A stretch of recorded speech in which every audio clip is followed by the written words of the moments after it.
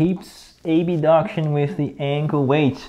Find a comfortable position for your head here and then try to go up as slowly as far as you can and slowly coming down. As soon as you touch your lower foot here, you go up again. Try not to rest like one leg over the other. We want to keep the muscle working all the time. So open as much as you can and slowly come down.